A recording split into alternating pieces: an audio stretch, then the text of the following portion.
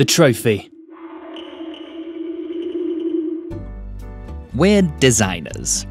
We don't know a thing about making trophies, and yet for some reason, not only did we want to create one, we wanted to make it as difficult as possible for ourselves.